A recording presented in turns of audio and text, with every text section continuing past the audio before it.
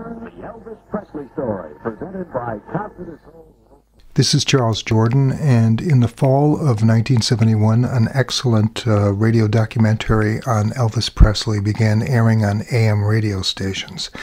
And now stand by for a portion of the Elvis Presley story, which was recorded from WMEX in Boston. Charles Jordan on Sunday evening, October October 3rd, 1971. And now, on this 10:30 mark, stand by for tape recording tidbits of the Elvis Presley story recorded from the radio. Here from special recordings made for fan magazines in 1956 is Elvis answering the criticism. Hi, this is Elvis Presley. I guess the first thing people want to know is why I can't stand still when I'm singing. Some people tap their feet, some people snap their fingers, and some people just sway back and forth.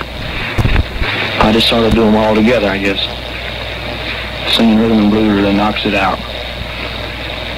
I watch my audience and listen to them, and, and, and I know that we're all getting something out of our system, and none of us knows what it is. The important thing is that we're getting rid of it, and nobody's getting hurt. Later, Elvis again answered his critics in a radio message prepared for the March of Dimes. Some people seem to have the idea I'm a controversial influence on young folks. But whatever I do, I always want to do my best for the teenagers. I certainly never want to do anything that would be a wrong influence. When I sing, I just, I just sing from my heart. Some people say it's because I'm offering folks a new kind of rhythm. I really don't know about that, though. Uh, actually, my kind of rhythm is really about as old as music itself.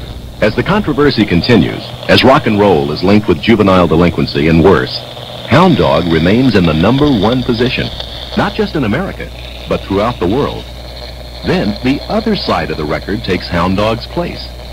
A year later, in 1957, Elvis is asked to look back and pick his favorite. The one I like best, naturally, will have to be, don't be cruel, because it, was my biggest seller.